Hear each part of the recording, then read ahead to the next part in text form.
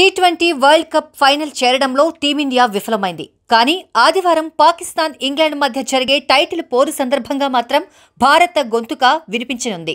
అంతిమ పోరుకు ముందు జరిగే ముగింపు కార్యక్రమంలో భారత సంతతికి చెందిన పదమూడేళ్ళ జానకి ఈశ్వర్ తన గాన మాధుర్యంతో మెల్బోర్న్ గ్రౌండ్ను ఊపేయనుంది. ఆస్ట్రేలియా రాక్ బ్యాండ్ ఐస్ హౌస్తో కలిసి జానకి పాడనుంది. కేరళకు చెందిన జానకి తల్లిదండ్రులు అనూప్ దివాకరన్ దివ్య రవీంద్రన్లు గత పదిహేనేళ్ళుగా ఆస్ట్రేలియాలో నివాసముంటున్నారు. సంప్రదాయ మలయాళీ కుటుంబంలో జన్మించిన జానకికి సంగీతం అంటే ప్రాణం.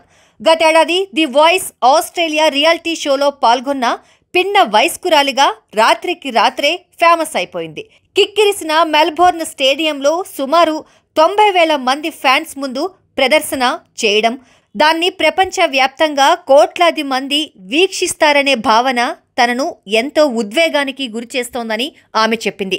తన తల్లిదండ్రులు కూడా క్రికెట్ వీరాభిమానులేనని తెలిపింది. Hello please subscribe to Telugu seventy MM అందరికి నమస్కారం నేను మీ Pranav కౌశిక్ని. Please subscribe to seventy MM Hi guys, this is Ramya Pasupuleti. Please subscribe to Telugu 70mm. Hi this is Parashuram please subscribe to seventy MM Telugu thank you hi everybody నేను మీ Poojitha Ponnada please subscribe to Telugu seventy MM channel hi this is Avinash please do subscribe Telugu seventy MM please subscribe to Telugu seventy MM